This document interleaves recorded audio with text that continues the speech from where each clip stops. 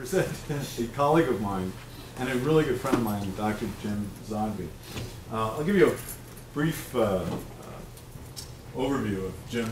Jim is um, originally from New York, in the Utica area, went to undergraduate in Le Moyne, and then came here and, and found a life, came to Philadelphia and did his PhD at uh, Temple University. So uh, I always like bringing Jim, and it's easy for me to bring Jim to this area because he loves Philadelphia. Jim then went a little bit around the country, uh, taught at uh, Shippensburg, remember that?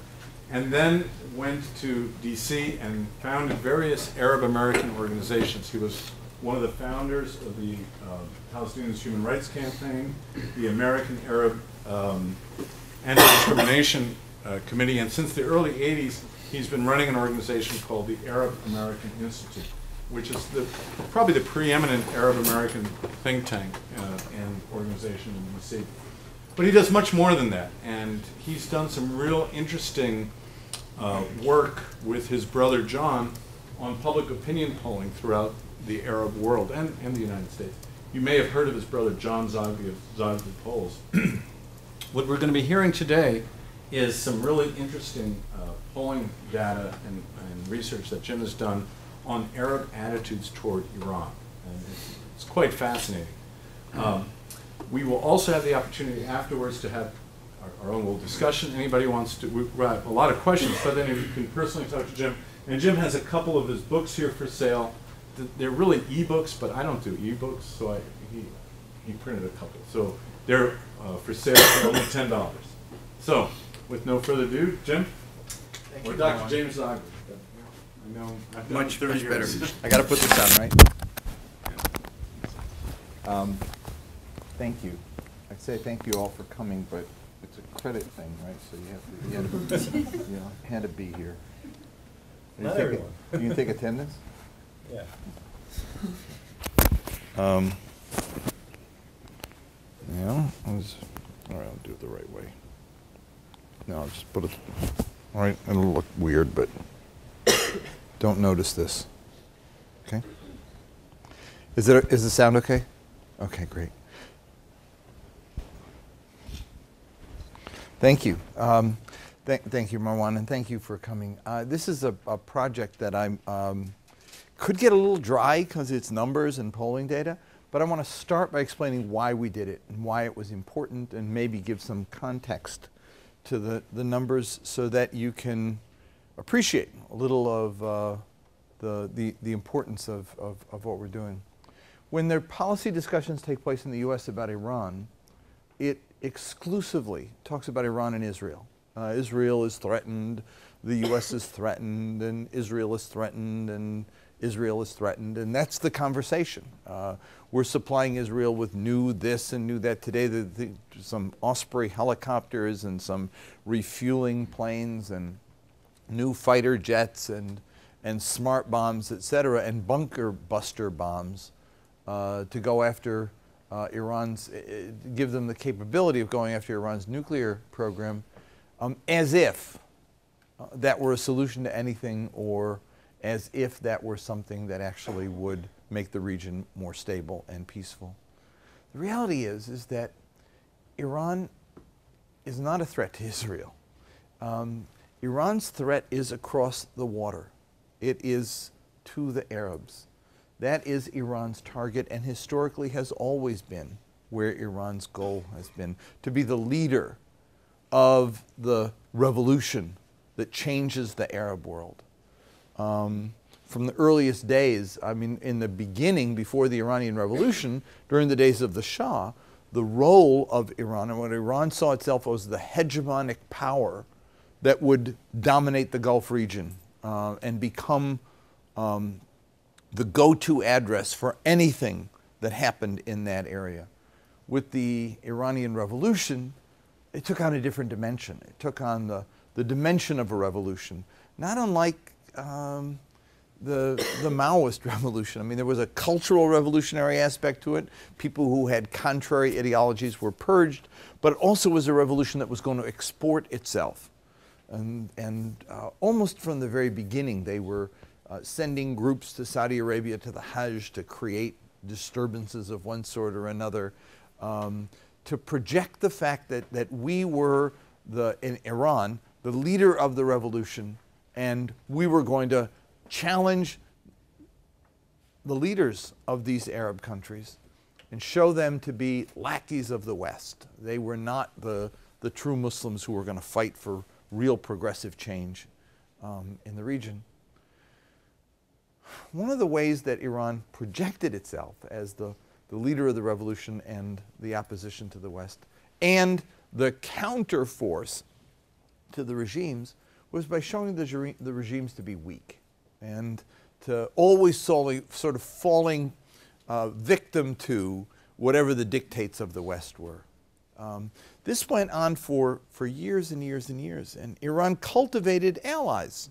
Um, certainly allies among the Shia faith, which Iran was, but also allies among revolutionary groups, um, some religious based, some not, um, who were also groups who were challenging the leaders of, of, of different Arab countries.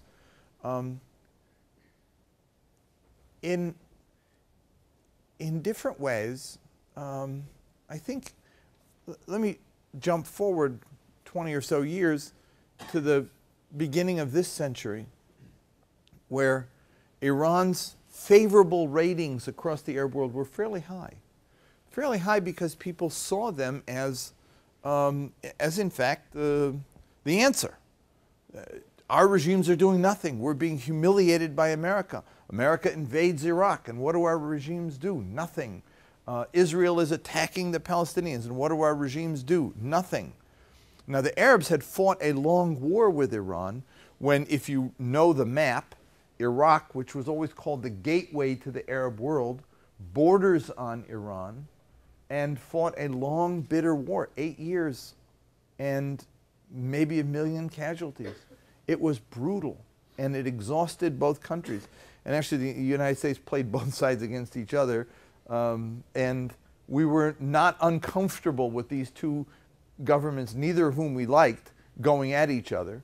Arabs saw Saddam, despite their lack of appreciation for him and his regime and what it stood for, they saw him as defending them. They were the, he was the block stopping Iran from uh, advancing and moving, uh, moving westward.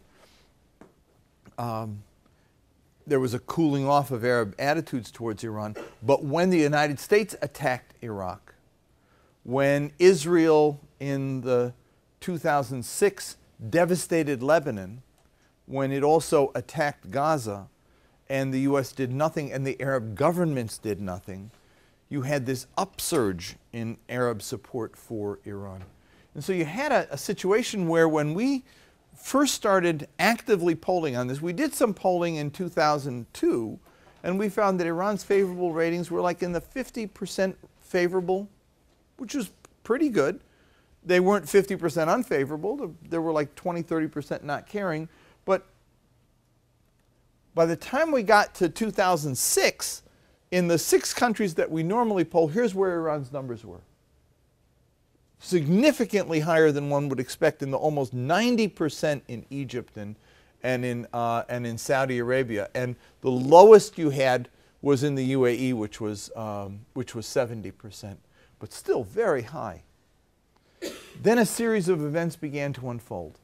Um, you had Iran's ally Hezbollah playing a very sectarian game in Lebanon, ordering its, its, its people out into the streets and threatening to use their weapons against the Lebanese government and against the Lebanese opposition, their opposition. Um, you had Iran becoming very aggressive in the Gulf region.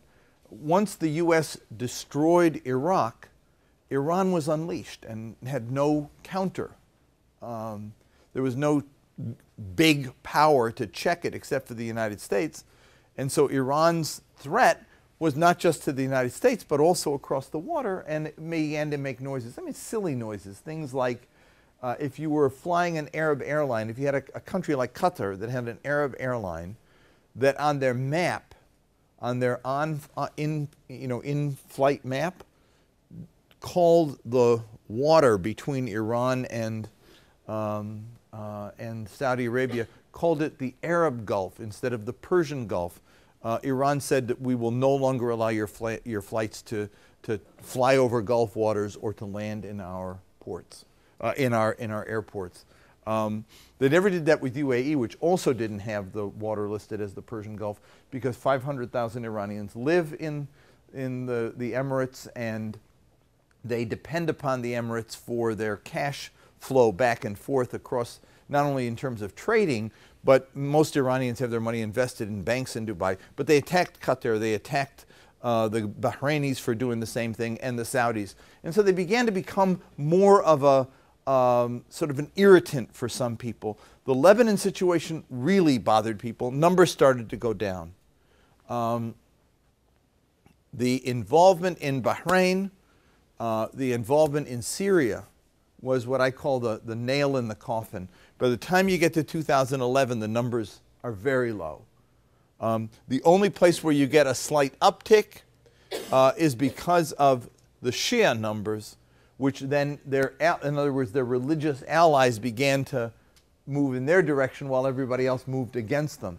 So two things happened. One was between 2006 and 2011, the numbers dropped precipitously, but two, a division between Shia and Sunni in the Muslim world on its attitude toward Iran began to emerge. Let's look at some of the reasons why this happened. First was overall attitudes towards Iran in 2012. Look at the unfavorables and look at the favorables. Only five countries above the 50%, uh, with 14 countries uh, below, uh, the, above the 50% in negative, in negative ratings. Um,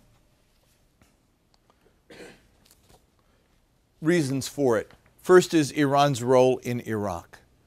Um, viewed negatively almost everywhere except in Lebanon and Iraq. A note about both Iraq and Lebanon. The reason why Iraq's numbers are going to be high is because 60 plus percent of Iraq's population is Shia Muslim. And Iran, despite their long war and despite the mistrust and despite the bitterness that many Iraqis still feel for Iran, uh, Iran has worked really hard in cash and in support uh, in many ways to cultivate strong alliances. And as this sectarian division in the Arab world has caught hold, one of the places that caught hold very intensely was in Iraq. Plus, Al Qaeda, which is a Sunni Muslim group, attacked for years uh, after the U.S. Uh, invasion of Iraq, began to attack Shia targets that sort of fomented even more sectarian division. So Iraq's numbers are going to be very high, favorable to Iran in every one we look at. Lebanon's numbers are also very high, and that's a strange one that sort of confused us because we saw those numbers in, we've done this poll now three times in the last two years. We keep getting the same numbers. So I, I needed to look at it. And as I looked at it and as we did more conversations with people, here's what we found. While every other Arab country sees Iran through the prism of their behavior in Iraq, their behavior in Syria, their behavior in Bahrain, all of the other things they do. Lebanon still sees Iran through the prism of what happened in 2006 when Israel attacked Iran and Israel destroyed, uh, Israel attacked Lebanon rather, and destroyed the infrastructure of Lebanon. It cost like a billion and a half dollars of damage in a little country like Lebanon. That's huge. Killed 1,400 people in a little country like Lebanon. That's huge. The Arab Gulf states did nothing to help Lebanon. The U.S. did nothing to help Lebanon. Iran did. Iran not only poured money into the country, but it also sent advisors, it sent construction teams. They didn't just work in the Shia areas, they worked throughout the country. They built very strong ties with the Christians in the country, as well as with the, with the Shia Muslims, and they did work even with the Sunni population. And so when Lebanon thinks about Syria, they're divided down the middle.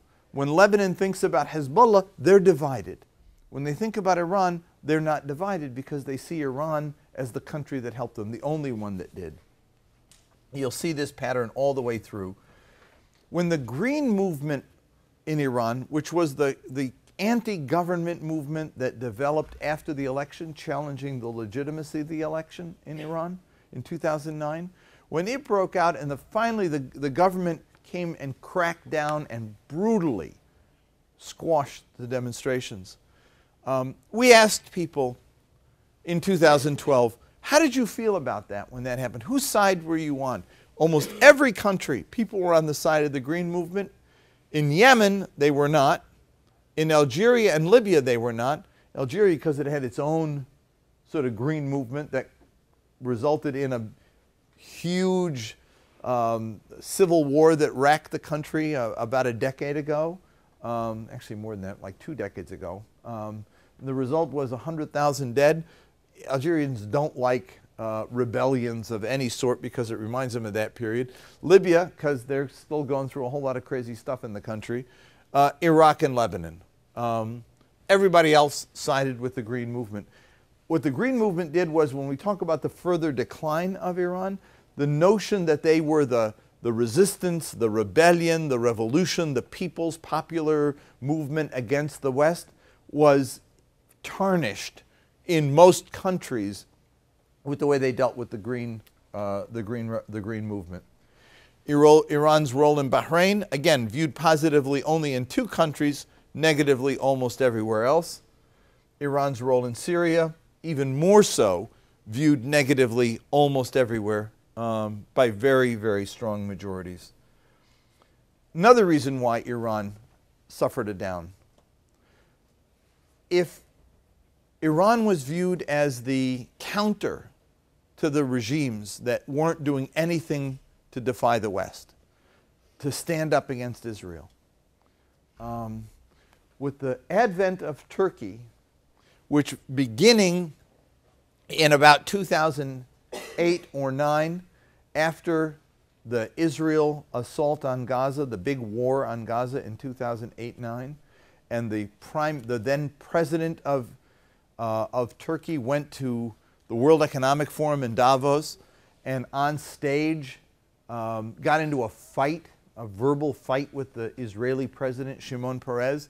And when Peres tried to defend Israel's position, um, in effect, the president of, uh, uh, uh the prime minister rather, of, uh, of, of, of, of Turkey said that's bullshit and walked off the stage angry. Uh, in the Arab world, it shot Turkey's favorable ratings way up. They said, you see a country that is successful, a country that's the 17th largest economy in the world, a country that is a democracy, um, a country that can stand up against the, the West and defy Israel. And so attention that had once gone to Iran now went to Turkey. And those numbers continued to rise until 2011 when Turkey began to challenge Iran. And so you had the sectarian division. So you now have the reason for a decline is because Sunni go one way and Shia go the other way. And so it's not a uniform attitude towards, towards Turkey, but it's a divided one. Now, on the question of Iran's nuclear program, uh, most Arabs are not favorably inclined toward Iran's nuclear program um, uh, and view it as being a weapons program not for peaceful purposes.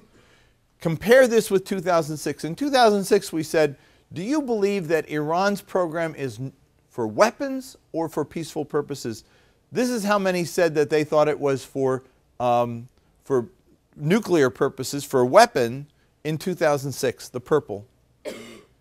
In 2012, the numbers go up over 50% in most of the countries.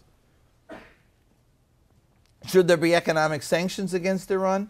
You get pretty much a division, but more countries supporting them than opposing them. And again, if you look back to 2006, 2012, in 2006, nobody supported them. In 2012, almost everybody does.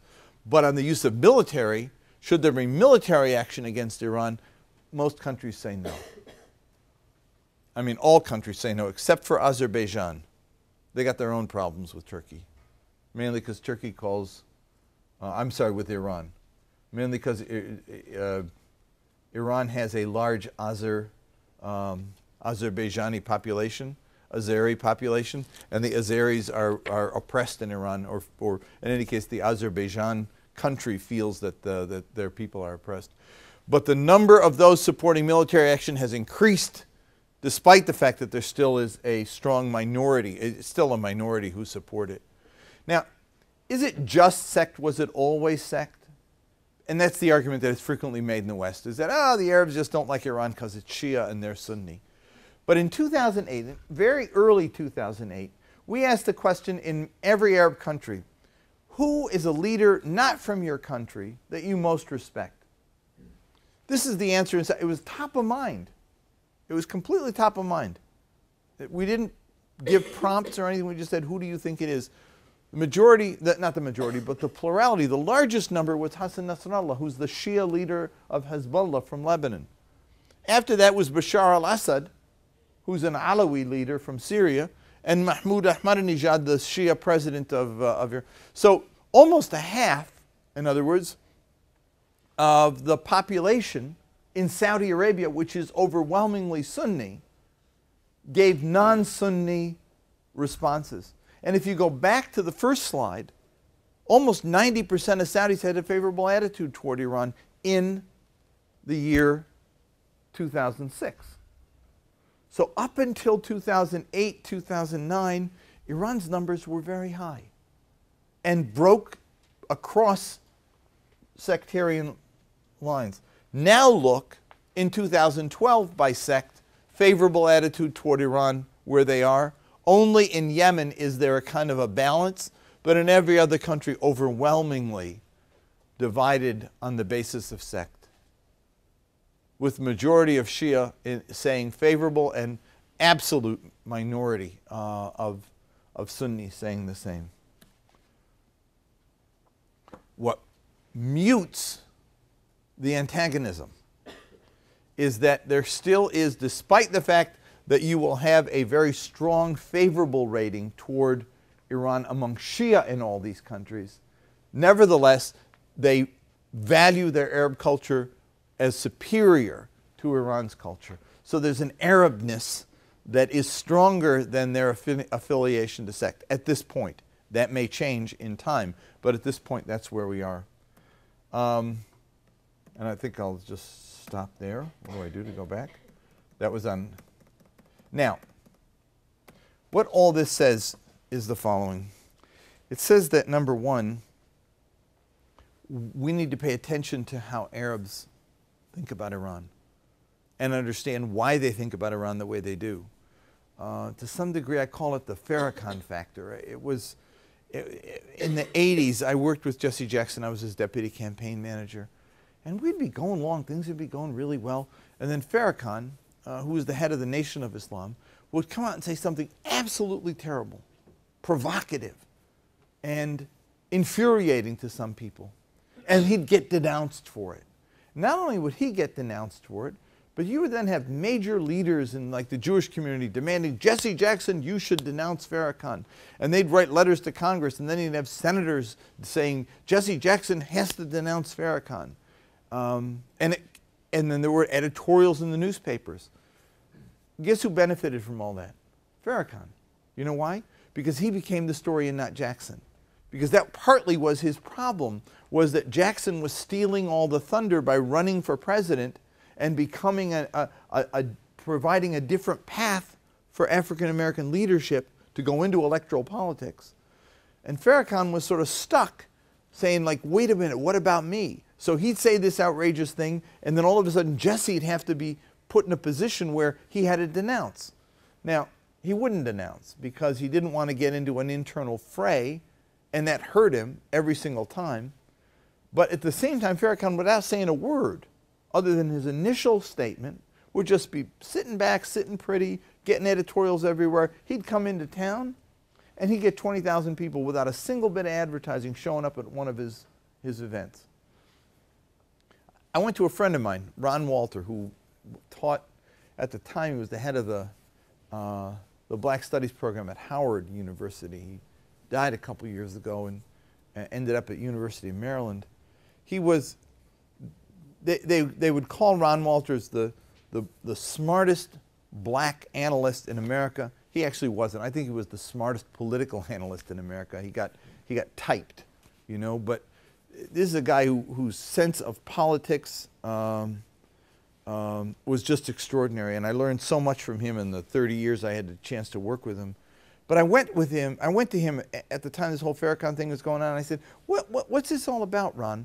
What, what, why does Farrakhan do this?" He said, "Because he's smart, and he is the measure. He knows that he is the measure of the depth of black alienation from white America. People are alienated from the white establishment. They're alienated from the major organizations. They're alienated from Congress and the Senate. And Farrakhan knows if he can provoke them, if he can get them to denounce him, it works for him because he knows that in, on the street, folks are saying, look who's attacking our guy. And it puts Jesse in a bind because he either joins Farrakhan or loses his credibility with the, with the establishment when he's running for president of the United States. It was a very difficult position to be in. That's the game that the Iranians play with the Arab street. They know. That he says something about wiping Israel off. They have no intention of doing that because they know that five seconds after they tried to do it, they'd be dead. And the Iranians are not irrational. They are smart political players who are playing for attention. And so they make an outrageous statement, they make a provocative statement, and they start to get denounced. And the more they get denounced, any of you ever read Marvel Comics, the character Sandman? You know, you hit him and he gets stronger, he absorbs your strength. That, that's what the Iranians do. The more you attack them, the stronger they get. First lesson. First lesson stop the provocations on all sides. The Iranians have to learn one thing out of all this, and that is that it's not working anymore. There was a time when their provocations drew attention to them. Now their behavior is in fact causing people to be irritated. So at one point they were looked at as the leaders, 90% favorable ratings. Today they're looked at as a nuisance and a dangerous one that is provoking problems in Iraq, provoking in Syria, provoking in Bahrain. At the same time, there's a lesson to be learned for the United States and Israel, which is also lower the rhetoric. Because the more you elevate the rhetoric, the more you play into their hands and give them what, they, what the Iranians want, which is to be the center of attention and the source of, of all activity in, in the region. There's a lesson for the Arab governments, too. And that is those Arab governments who treat Shia badly create the conditions for Iran to take advantage of that and begin to deepen this sectarian divide. Right now, right now, we're still in a position where the Arab culture dominates, but pretty soon that will disappear. And people will begin to lose their sense of identity as a Saudi or as a, they probably already lost it in Bahrain, where the repression has been intense. Um, there's a lesson too for, um, I think, for, for, for American policymakers generally. And that is that, that what President Obama gets largely criticized for, which is leading from behind, actually works. In, in the, the last slide, the one that I ended up not showing was America's ratings have gone up in the Arab world. And when we ask people why in focus groups, they say, because your president's not as noisy as the last one. People don't like people who threaten boast.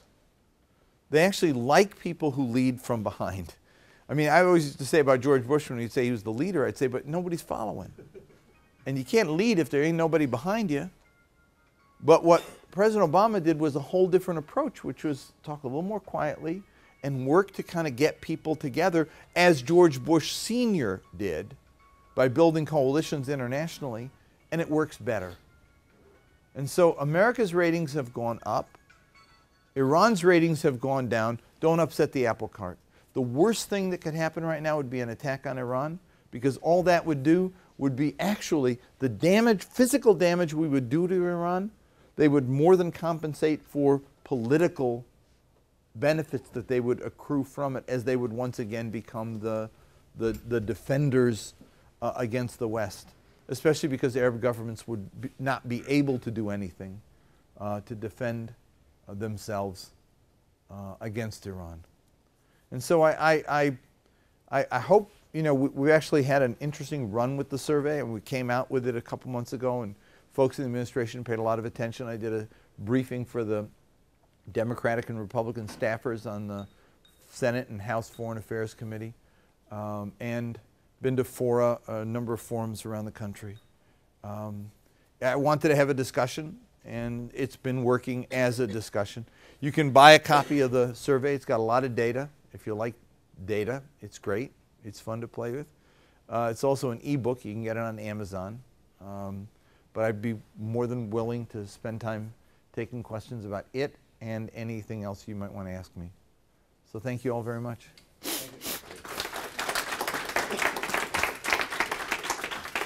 Yeah. Do you do you have any sense uh, within Iran, um, amongst the general population, as to the popularity of the government? I I would think with inflation, uh, the decline in value of their currency, that they must be quite unhappy with the the- the leadership there. Actually, we, we've done a lot of polling in Iran, which is not easy to do. Um, and we found two things. One is that the support for the opposition to the regime was never as big as we, we, we wanted it to be. Uh, it was not, it, the, the Green Movement was not the majority of the, of the population. Um, it was the majority of young urban elites, uh, like the Egypt, uh, the revolution against, uh, against the Mubarak government. But um, most people in most countries are, are, are patriotic.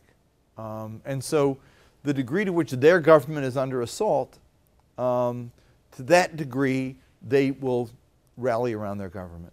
Um, and I, I still think that the best approach is the one that the president started with, which was engagement, real engagement, um, that, um, that tries to win this battle um, by both negotiations but also appealing to the hearts and minds. We've, we've weakened them, there's no question that they've been weakened, but the, the weakening has happened at the expense of people losing benefits.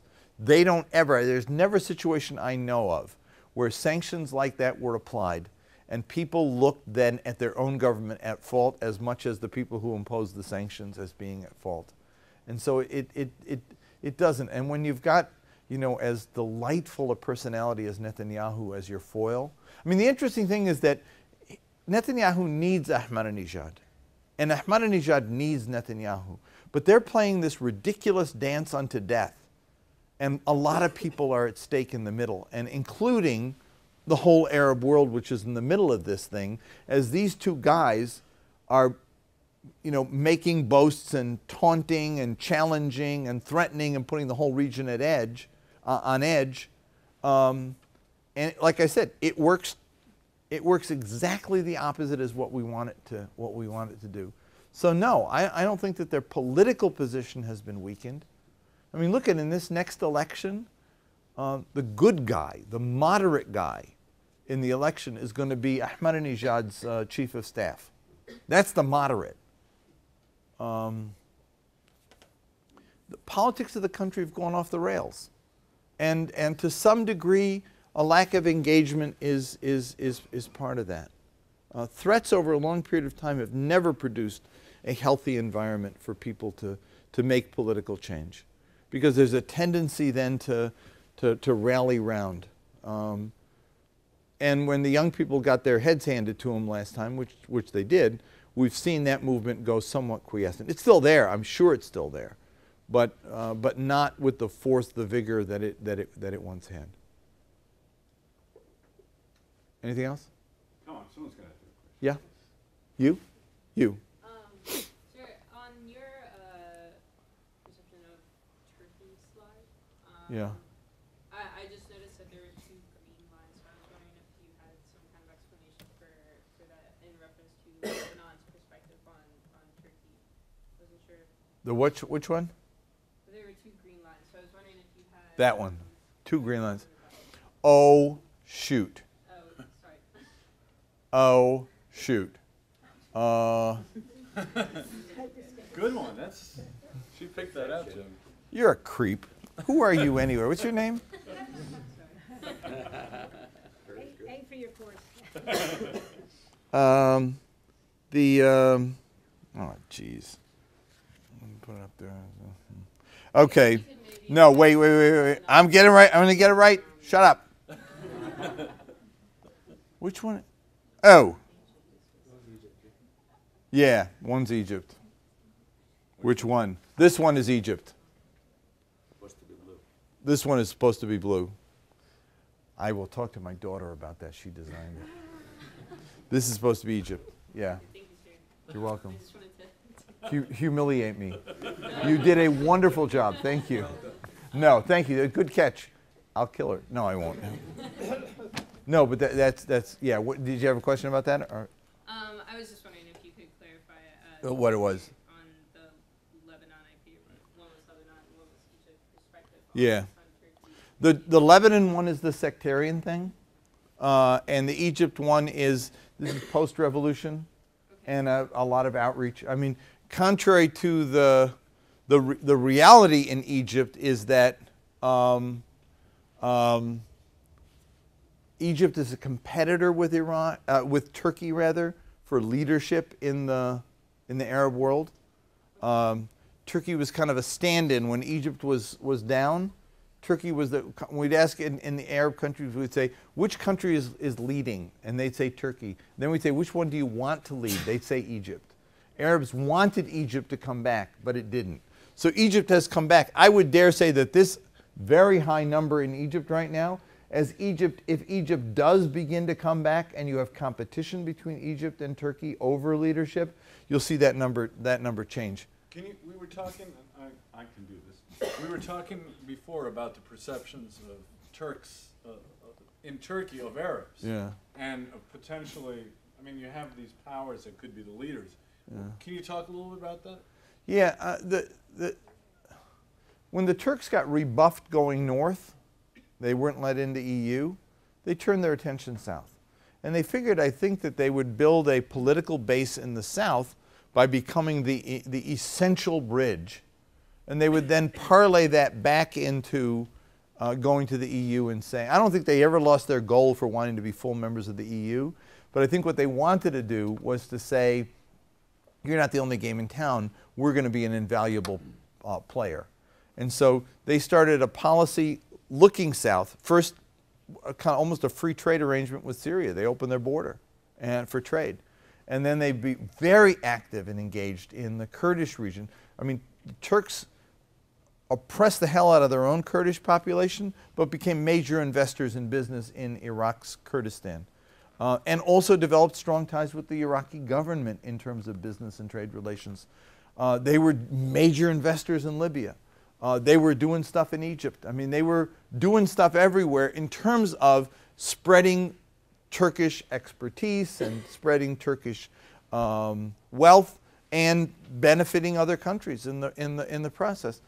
Um, they had this sort of mini rupture with Israel because Israel no longer was an, number one, it was no longer an asset to them. I mean, to the degree that Israel became an inhibitor of their, their relationship with Israel, there had been a point when Turkey looked just to the north, when um, Israel, Turkey was known as Israel's only ally in the immediate region.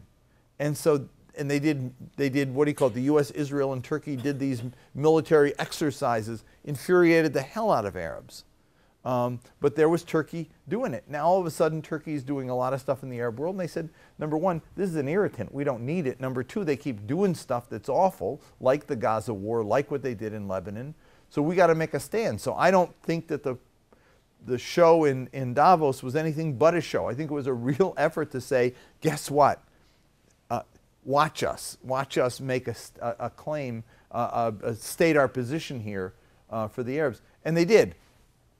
Um, and then they became, after the Syrian revolutions, Turkey tried to play an, a critical role in mediating or negotiating. Uh, when the Libyan revolution happened, they got their heads handed to them by the Libyans, who said, You've been dealing with the old regime, we don't want you anymore. Uh, they have to walk rather gingerly in several of the countries because they're kind of in a difficult position. Initially, they tried to mediate the Iran situation, not realizing that most Arabs didn't want them to mediate the Iran situation wanted them on their side, not with Brazil as the mediators trying to solve the thing. So anyway, Turkey after a, an initial promising start as being the leader, all of a sudden found itself in hot water in a whole lot of places and not really doing well. Uh, when we did a poll, um, the reverse of this poll, we asked a whole bunch of other countries what they thought of Arabs um, and what they thought of the role of, of, of different countries, what the role of different countries should be.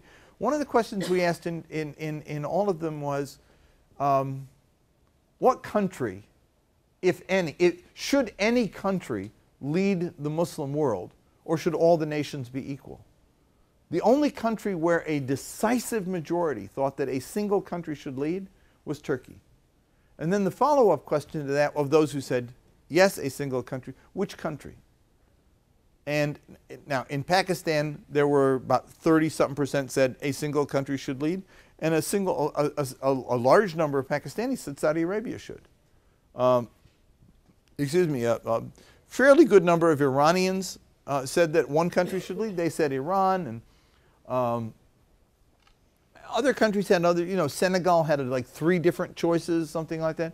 In Turkey, every single person who said that one country should lead, which was 88% of the whole, uh, every single person of those 88% said Turkey should lead. Um, and when asked the question about your culture versus other cultures, most people were, you know, they're like 60 here, 20 there, whatever. Turkey was over, Turkish culture was superior to everybody's. Who made the greatest contribution to the history of Islam? Turkey did. Who, whose culture, who's the more generous? Turkey is. Who's the more knowledgeable? Turkey. The, the sense of Turkish superiority was enormous, came through in this poll. But then we asked another question, and that was Do you know any Arabs? Have you ever been to the Arab world? And interestingly enough, uh, in most countries, people who'd been there or who knew people have a more favorable attitude. Um, I was so shocked when I saw the Turkey numbers that only 5% of Turks had ever been to an Arab country. I read, read the, we did the poll over again because it was like, what? Wait, this can't possibly be. So it, there were three or four questions like that that troubled me. We redid it this time instead of saying, have you ever traveled to an Arab country, figuring that maybe people didn't know what an Arab country was. Because, you know, in some places in the world, you, they think Arab, they think the Arabian Peninsula, and then there's Lebanon and Syria. They're not Arab, there's Lebanon and Syria. So we asked individual countries. When we added them all up, it came to 7%. That's within the margin of error of the original five. Turks had no exposure to the Arab world. None. And so, it, it, uh, not unlike the United States, right? Tromping into Baghdad, having no clue about who they were, what their history was, what their culture was, what the consequences of going in there would be. The Turks were in the same position. They were all of a sudden playing in, the, in, the, in, the, in an Arab world that they knew nothing about. They had no personal direct experiential knowledge of. And so kind of destined to get in trouble uh, if you don't know what you're doing, as we found in Iraq, with disastrous consequences, I might add. Yeah. Jim, let's go back 30, year, 30 or 32 years ago when the rise of the revolution, the Shah, Yeah. and he fled, and uh, Ayatollah Khomeini came in power. How much Washington really did to help the Shah, who was a great leader in Iran and in the Middle East too. It was very well loved. Why we did not do much to help him out and uh, do something with the revolution in Iran to compromise some common good for the people in the Middle East I- and for Europe. I, I actually I, I recall that revolution quite quite quite vividly. Um, I mean, people marveled at um, Tahrir Square, but the Iranian Revolution was really quite an extraordinary event. It was nearly bloodless. I mean, other than the fact the military did in fact use force. Um, at one point, they just completely surrendered. And the sustained demonstrations of millions of Iranians was a kind of an overwhelming display of popular, uh, of, of, of popular sentiment. Uh, I, I think that, if anything, people were uh, if there's anything tragic about that revolution, it's that it was so promising and ended so badly, as many revolutions do. I mean, the people who make them aren't the ones who win them. And so the, the young, um, the, the, the, urban elite that had really strong organizational ties um, ultimately gave way. I mean, the initial governments were governments of people we thought we could work with, and we could have worked with them. Um, had no sense at all that this underground movement of the religious leadership would ultimately become so strong and that the Ayatollah would take over and be able to hold on to power as he did. I mean, just like I think people underestimated Hamas in the West Bank, just like they underestimated the Muslim Brotherhood in Egypt.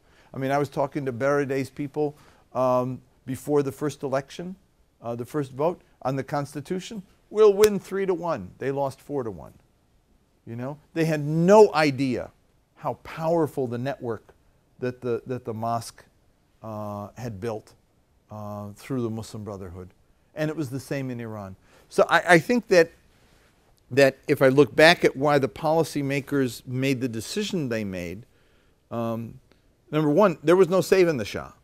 I mean, he was a bad guy and he did bad things in his own country. I mean, the, the human rights record that he had was abominable. Yeah, and people knew it. But but the he modernized too fast. The country wasn't keeping up with him.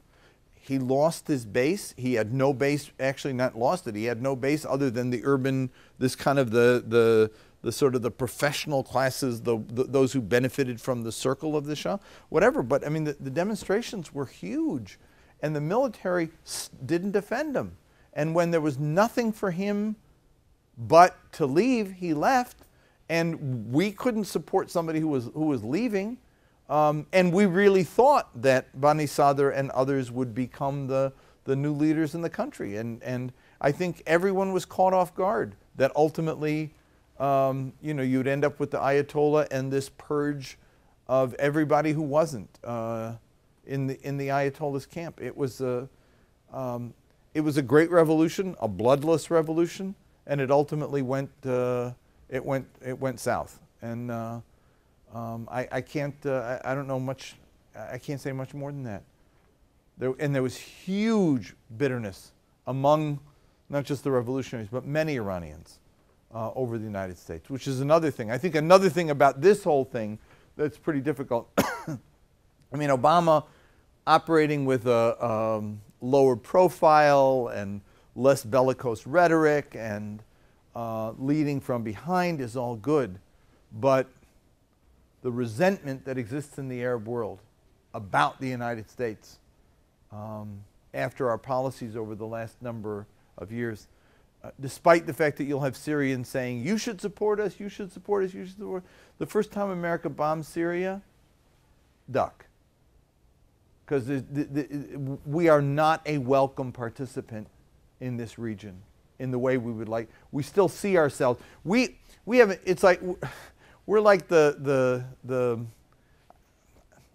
I don't want to be cruel here, but I went to a, a Christmas party at the White House and I was leaving when Liz Taylor was coming. This is Liz Taylor well past her prime. I mean, well past her prime. And um, uh, I'm getting my coat and she's checking her coat and she asked for her bag back and she took out a mirror and she looked at it and she said, Mirror, mirror on the wall, who's the ugliest of us all? And looked over at me as if I'm supposed to say, Oh, not you, ma'am. But I was speechless because she was totally garish. I mean, with the, the makeup and the work that didn't quite work. Um, but, you know, I mean, there are those of us, I'm old. I look in the mirror and sometimes I say, Who the hell's that old guy? You know? Eh, But it, it's like, you know, we still see ourselves as the, the shining city on the hill. Ain't nobody else in the world sees us as the shining city on the hill. We lost that one. Uh, we lost it with torture and rendition. I mean, we want to forget Abu Ghraib. People don't. We want to forget Guantanamo and say, ah, you know, whatever. What are we going to do with these guys? People don't. We don't. They don't forget rendition. They don't forget uh, uh, torture, et cetera, et cetera, and and and Iraq, um, and drones. I mean, these are failed wars. And we're still paying a price for them. And so, you know, in Iran, it was Mossadegh. I mean, you know, people remember when they had a democracy and we circumvented that and overthrew their elected government and reinstalled the Shah. They remembered that. And so, yeah, there were people who loved the Shah, but there were a whole lot of people who didn't love the Shah. And whether or not Jimmy Carter was going to redo the mistake of bringing him back again, uh, the question was we were still in the Vietnam, post Vietnam era. And right now, we're in the post Iraq era. And while John McCain never met a country he didn't want to bomb, um, thank God he's not president because, frankly, there's not a tolerance for that, right? Not, not only not a tolerance in the rest of the world, I don't think there's a tolerance with the American people. We want, we want wars on the cheap, like, like Libya, where we send a couple of planes, do a couple of bombs, or drones, a couple of you know, robot things like that, like the Serb war that Clinton fought, you know, where you don't put any boots on the ground and nobody on our side dies, and you don't have to face the ones on their side who die. Um, and so th- this notion that we ought to be doing this and we ought to be doing that ignores the real issues. I was at the State Department during the Syria thing, and there were the Syrians saying, you ought to set up a humanitarian corridor. And Fred Hof, who was the State Department point person on Syria at the time, he said, he said, do you have any idea what that involves? It would take 50,000 American troops to set up a humanitarian. Humanitarian corridor means you have to seize territory, you have to hold territory, and you have to administer territory. No, we'll do it, we'll do it. No, you won't do it. You won't do it. We have to do it. I mean, you don't have the capability of doing it. If you did, you would have already done it. But you don't. So you want us to do it for you. But are the American people going to tolerate if we sent 50,000 ground troops into Syria? I don't think so. They would like it for the first week, and then as soon as some Americans start dying, they would say, no, get them out. You know, we just did that in Afghanistan. We just did that in Iraq, and, and it's not working. I, I, I think that there's a sense here that we, we sometimes think we ought to do this, we ought to do this without thinking the consequences of what we can do, what people want us to do, and what our own people have the tolerance level for us to do. Sounds easy, but it, it, it's, it's really not. Yeah? Can it not be done with a no-fly zone in Syria? Can it, don't you think among all the wars that we fought, I think the majority of the Arabs would support U.S. intervention in Syria? Not, you know, maybe not Iraq back then, but in Syria more so than any other place. I, I, the, the idea of a no-fly zone has been discussed, but the issue is that air power is only now being used by the Syrians. It was not being used for the longest time. And whether or not it makes a decisive difference in this battle is, is, is you know, remains to be seen. So, th- you know, the question always was, if you used it, what would it accomplish? Um, I mean, Iraq was a no-fly zone for years, and Saddam held, held strong. Um, I, it wasn't the no-fly zone that ultimately defeated Gaddafi, um, and I don't think it would necessarily contribute to defeating Assad. The bigger question that America is asking right now is, if they win, who wins? And that's what we still don't know. Um, huh? We don't know. And I- I mean, I, I remember when the Iraq War was just, we were debating it, you know. I, I was on the Resolutions Committee of the Democratic Party. I was chairman of the Resolutions Committee. And the chairman of the party wouldn't let me introduce a resolution on it. What I wanted to say was, should we go into a war? I wanted to ask the question, should we go into a war who's in a country whose culture and people and history we do not understand? And therefore do not know the consequences of our action. Um, it was a simple question, but nobody actually wanted to ask it back then because we were too busy beating the drums and marching, marching ourselves off. And I, I will, for the life of me, never forgive not just George Bush, but George Bush and the Congress, um, weak-kneed creeps that they are, um, and media.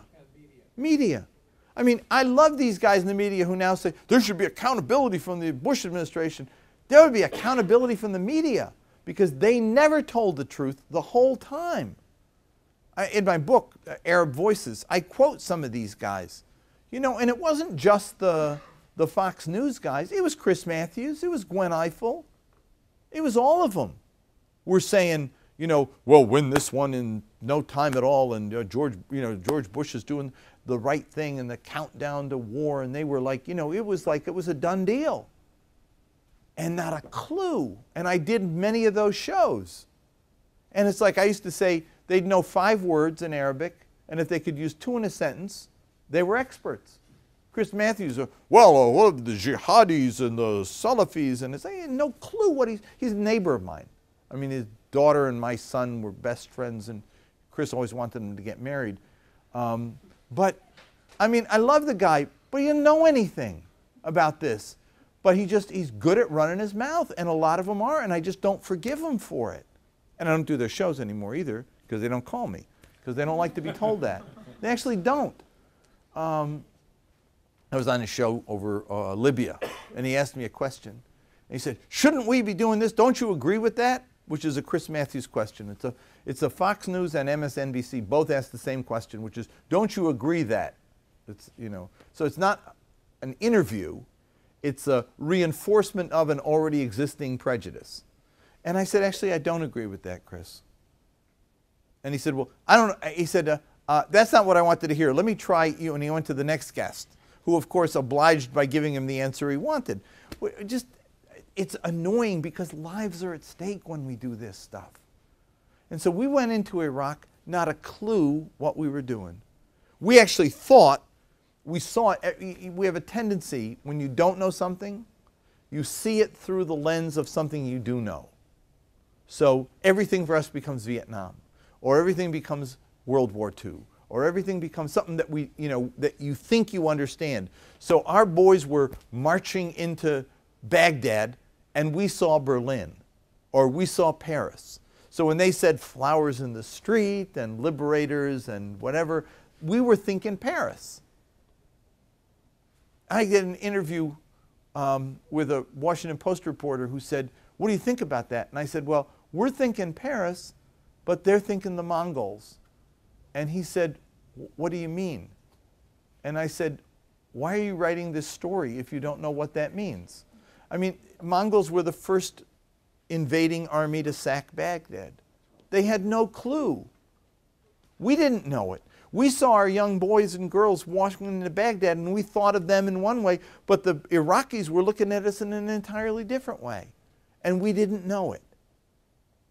And, and one, I mean, I, I, did my doctorate in religion. Uh, Marwan noted I went to Temple, and the one thing I learned is the, the absolute importance of you can never see the world through the other's eyes, but you at least have to know that the other's eyes are not your eyes, and at least ask the question, how is that person seeing me? Because it's not the same way I'm seeing him or that I think he's seeing me. And we all want to think, I, I look really good today. You know, I mean, look at this. You know, and and and then you don't get attention because maybe you don't look good. But like little humility is always in order. Like maybe it's, it ain't right. Maybe it's just not working. I remember we did the first poll in Iraq in October uh, 2003, and guess what we found? They didn't like us. They were angry. They said it wasn't working. They said that they'd been harassed by U.S. It was it was it wasn't a pretty picture. I turn on TV three days later. Dick Cheney's on Meet the Press. Great poll done. Zogby, very reputable. He said uh, in a poll, asked them, do they like America? Hands down, we win. They want us to stay, finish the job. It's like not true. So I wrote this article. They gave it the headline, Bend It Like Cheney. And what I wrote in the article was, I wrote in the article, I said, um, I said, it's one thing to fudge intelligence going into the war. It's another thing when you're in the war and your people are dying and somebody comes and tells you it's not working to then fudge that and pretend that it is working. Because then it just dragged on for, for, for nine more years and too many people died um, on all sides. And it didn't work. It didn't work. The best scenario right now is that Iraq ends up with another Saddam, who's a Shia Saddam, this time instead of the Sunni Saddam. The worst case scenario is that Iraq splits up um, and becomes a fragmented entity that continues to spill turmoil throughout the whole region. Uh, Al Qaeda's back stronger than it was when we were there. Uh, the Kurds are feeling their oats and pushing south, and that could be an internal civil war. Uh, terrorist bombs are going off daily, daily going off, killing both Sunni and Shia from each side. And Turkey's become, Iran's become, Iraq rather, has become the, the belt conveying Iranian weapons into the regime in Syria. And Iranian soldiers, incidentally, into Syria, and Iraqi soldiers who are going into Syria to fight for the regime. It's, it's completely a disaster. And we had no clue what we were going to get when we did it. Anyway, that's a different story. I'll do one or two more questions and then I have one. Somebody? I still, uh, uh, the mistake that Washington made, they look at Iran of a oil country, but they didn't look at the history of Iran as a Persian cultured, modern, great uh, country in the, the area. They looked at Saudi Arabia and the other state oil. Mhm. Dollar is coming to us. We forgot Iran for 32 years. We haven't done nothing there in Washington D.C. Yeah. So what really, you know, we don't want to make the same mistake. No, I think that, look, I I, asked, uh, I think- Brigadier General Zinni when he was here. Yeah. lecture, I said, General, if today Bashar Assad uh, leaves this, the Yeah. regime, steps down, who are you uh, depending on? He said, oh, those who are fighting. He said, do you know who are fighting? Mm. Do you know them? He said, well, maybe some we know. yeah, no, I, I, That is a important statement it- it- big guy from Washington. and not, not only a big guy, but somebody I respect uh, a great deal. General Zinni is a remarkable person, a courageous person, but if that's what he said, he's, he's, he's totally wrong. Um, and, I, and I think that that, you know, it, it's like for better or for worse, when, when, when Barack Obama ran for president and he said that he would, he believed in engagement, I actually think it was the smartest thing. It was one of the reasons I voted for him, was because I believe that engagement at the end of the day is the, the only way to resolve, a, a- resolve an issue. And when he was challenged in the debates by saying we ought to do, do uh, engage and tell them we'll engage you, but if you don't, sanctions, he said, no, you can't, because if you do that, then, you know, if you have a threat with the engagement, then you're not really engaging. It, you're really threatening. And he rejected that. Um, but the politics of Washington were such that, I mean, he was not able to pull it off. Um, while he was doing engagement, the, the Senate was passing a sanctions bill over his head um, and forced his hand. The, the bottom line is, is that you're, you're right. Um, do, do I, look, I, I proposed early on in, in this administration, because I didn't propose anything with the last, last crowd, they didn't listen. Um, I, I thought engagement made sense, but I actually thought that instead of doing the P5 plus one that we do, the, the negotiations with Iran, it should- be P6 plus one. We should have an Arab representative in those negotiations to say to the Iranians that, and to say to the Arabs that, because the Arabs' big fear is that we'll make a deal with Iran over their backs.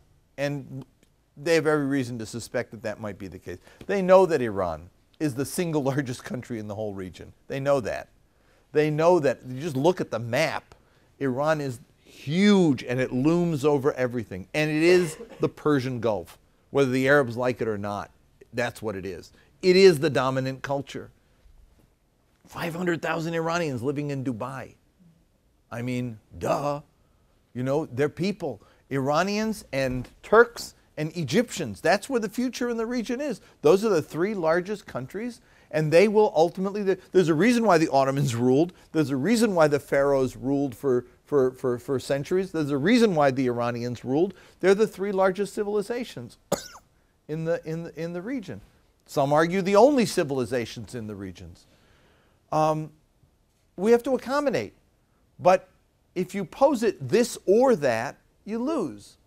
But if you find a way to bring the Arabs into a negotiation with the Iranians so that there is some kind of uh, operational peace in the Gulf with the Iranians not threatening and the Iranians not feeling threatened and the Arabs not feeling threatened, it's, it's a win win. That sounds simplistic, but frankly, it's never been tried. We've never tried it with them. On the Syria thing, it's a disaster from the beginning. And, and I, you know, the, for me, um, the silent victims of the Iraq War were the Christian, the Chaldean community of Iraq. It was the single, huh? Of, of, of, of, of Iraq. The Assyrian, Chaldean, they, there were 1.3 million. They go back almost 2,000 years. I mean, they go back to the third century. Um, they estimate maybe like two, three hundred thousand left. They're gone, and um, that history is, has, has been lost. And the Christians in Syria feel the same right now. And the fact is, is that nobody's paying attention to that at all. That there are, I mean, there are people who support Bashar because they're from his sect. But there are others from other sects who are afraid of the chaos that will ensue and don't want to see. They just saw Iraq next door, what happened there. Uh, the, the chaos of, I mean, look, for better or for worse, Syria was one of the, one of the great places to go in the world. I mean, it, like Egypt, it was, I mean, I, you, you, they're the only two countries I know. I mean, I'm sure there are other countries like them. But you, you walk down the street, and, and unlike Carthage, which you go to, and, you know, which is all underground and some of it's some of it's been unearthed. I mean, the ancient histories of Damascus and Syria, and Damascus and Cairo, never needed to be unearthed. They were right there on display all the time. I mean, you'd walk down the street and you see an 11th century this, and then a you know a third century BC that, and then you know it's all there, and the people coexist with it and live with it every single day. And the danger is that that's all going to be lost, not just physically, but the sense of place is gone. I mean, Aleppo, those pictures, I saw this picture in the New York Times the other day, and it was this street scene, and it was total devastation. Looked like Beirut after the Israeli bombing raids and the Civil War, and it was just devastating. And there's this young guy with a gun sitting on a chair, maybe you saw that picture, in the front with the street scene unfolding behind him. And the caption of the picture was Syrian rebels score gains. And I said, Gains? If this is the gain, what is victory? The total devastation of the country? I mean, it's like there's some of these things you never win. And this is one of them. There's not going to be any winner in Syria. And I, if, if, I scored Obama positive for anything, it was resisting all this time, becoming an active participant in it. Um, when people who should have known better were pushing him to do the wrong thing, he at least stayed out of it for as long as he possibly could. But the politics are, are, um, uh, are, are, pushing in that direction. And I'm really afraid that, um, uh, like you said, I mean, we're getting into something where the guys who are going to win are the guys we don't know. And uh, they never work out. It never works out. This, this notion that it's, it's a kind of a, um, um uh, you know, sort of, an, a, a, sort of an apocalypse, you know, or uh, where you know, everything blows up and then th this notion that it all settles down just right and pretty, everything works. That is never what happens. When it all blows up, it all settles down as rubble. And it then takes decades and decades and decades to rebuild. And I, am very much afraid that the problem with Syria is that um, others have now begun to say this but I, have said from the beginning that unlike Libya, which what happened in Libya stayed in Libya, except it spilled over into Mali a little bit. What happens in Syria doesn't stay in Syria. It's going to go to Lebanon. It's going to go to Jordan. It's going to go to Iraq. It's going to go to Turkey. And there's going to be turmoil in that region for a long, long time to come. And what's happened is that Syria's become a surrogate war. It's no, this is no longer the Syrian demonstrators seeking uh, you know, wh whatever, uh, democracy or freedom, whatever. This is now Iran fighting against Qatar and Saudi Arabia. and they're fighting over the backs of the majority of the Syrian people. Um, and it's a dangerous, dangerous war that no one will win and everyone will lose.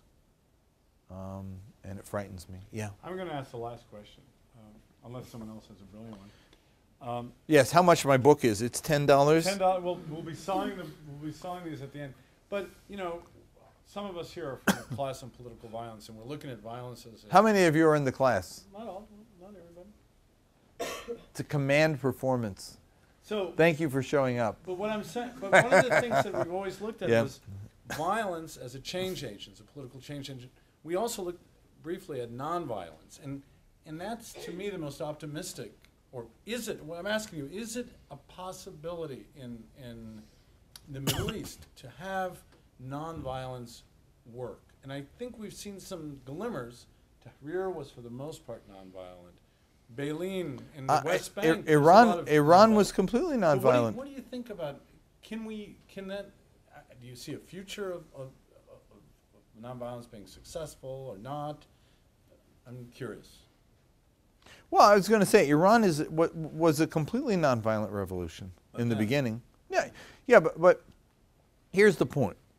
Um, nonviolence is a tool, um, but it is only a tool.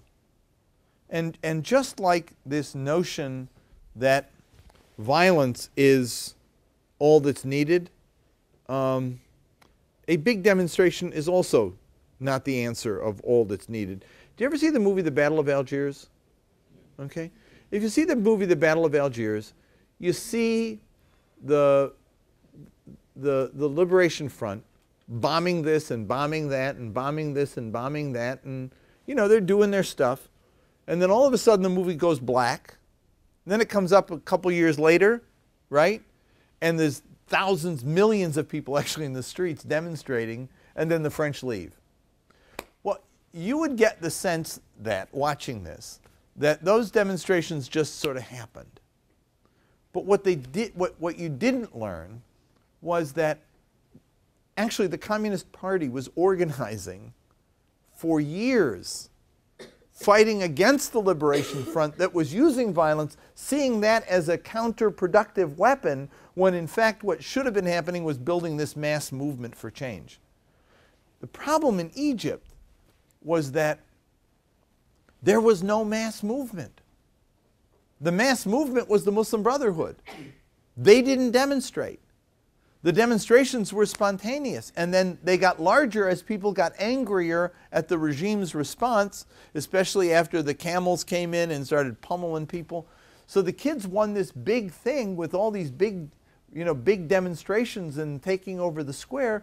But when it was over, the guys who won were the guys who didn't do anything, because they were the political force. Now I know the guys from the from the the the, the April April movement that were the the sort of the, the inspiration that who started with the labor movement and started doing the organizing. Um, but and they now know that their biggest failure was never to build a political organization. They didn't have one. And so when the elections started happening, they thought they'd win, but their only base was in Cairo. Muslim Brotherhood's everywhere. And the mosques are everywhere. And the network of, of, of, of guys in the mosques who were either with the Noor Party or with the Freedom Justice Party were everywhere. And these poor kids were sitting in Tahrir Square. They still go to Tahrir Square and they still demonstrate. But that's not where power is. Power is in the streets where you have to mobilize people. So you can't, you can't expect a demonstration in and of itself to win. It's who's got the troops. My, my brother ran for mayor in Utica, New York in 1981. Um, he'd written a book on a small city like Utica, what it does when the industries all leave and the jobs all leave and families start to fall apart because people got to go to Texas for jobs or North Carolina for jobs or whatever. And um, how does a city rebuild itself? Um, so it was kind of an up from the ashes book. It was a brilliant thing for a, a young guy to do. Um, he got the endorsement of the city's two newspapers. We had two at the time. TV station endorsed them. Um, most of the Chamber of Commerce, civic clubs endorsed them. Um, and he got completely trounced on election day. Completely trounced. Um, he got like less than 20% of the vote. And uh, the, the machine Democratic Party beat him. So we were sitting there talking one day to a friend of mine who was a former senator, and John was saying, ah, you know, the, you know what they did? They had people driving around picking up old people, bringing them to the polls, whether they wanted to vote or not, and they'd drop them off at the polls. And they gave people five bucks to vote. And they had all, they brought out everybody, and they were like giving people marked ballots to the ones who wouldn't read and showing. So my friend looked at him and he said, You got out organized. And my brother said, But, but, but. He said, No, you got out organized. They knew how to win an election. You didn't. That's why you lost. Best ideas in town couldn't win the election because you weren't organized well enough. That's what it's all about. It's about who's got the organization. And, and I, I, it's not, I mean, just like bombing Baghdad wouldn't win the war, having a big demonstration wouldn't win the war either. It was it, it, who had the troops and could actually mobilize them.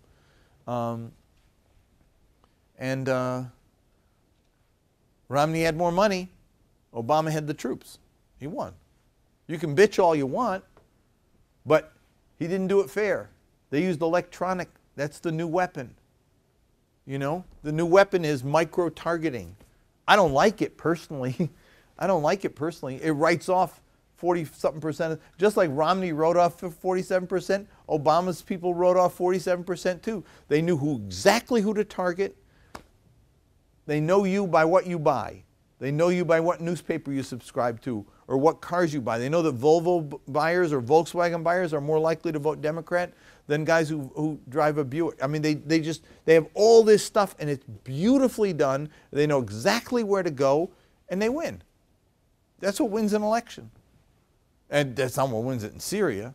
But, um, but you know, I, I, and that's not what wins it in Egypt either. What wins it in Egypt is who, I, I, was in Egypt after the earthquake in the, uh, well, I forget when that big earthquake was. Do you remember when the big one was? Late 90s. I was there, and I was there like three days after the earthquake. I was there for some of the tremors. And um, lots of people died, thousands died, something like that. And whole neighborhoods were destroyed.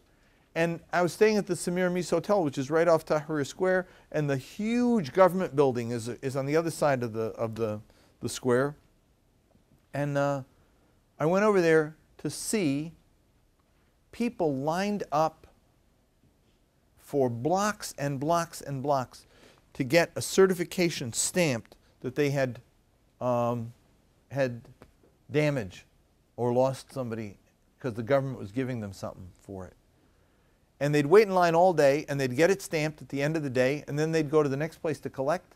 But they were told at the next place that they had to go collect that that stamp that they were closed for the day and they had to come back tomorrow but the stamp was only good for the day that they got the stamp on so they had to go back the next day and do it all over again. Meanwhile you went around to the same neighborhoods the muslim brotherhood guys were there just passing out cash. They just knew how to deliver and the government didn't. And so at the end of the day the muslim brotherhood won now does that mean that they're going to stay winning i don't think so but it does mean that that's why they, they emerged victorious. They had a better organization. Um, and um, I think that's it. Thank you Can I very ask much. a quick question? Yeah. What's the role, go back to Syria, of Russia and China in Syria? Russia, China actually has no role. China is like real interesting because they're just sitting pretty, you know? They, we're going to, do you ever read Lenin on imperialism? You should read it because we're going to be fighting that war in the next 50 years. It's going to be us fighting China. Because right, now you go into Saudi Arabia right now and you go into a, a, an office supply place and look at computers, and you'll see like Hewlett Packard or whatever, and you'll see like four look exactly the same as the Hewlett Packard one for $200 less, but it's the same computer. Because the guy in China who's making 400 of them a month sends them to Saudi Arabia, and the Hewlett Packard one sells for whatever Hewlett Packard sells it for, but he just takes the name off and he puts his own and he sells them down there. Um, at some point, they're going to say, why the hell should we be making them for them in the first place? We'll just sell our own. I mean, we're going to be competing with them for markets everywhere in the world, and they're going to be beating us because they've become our factory floor.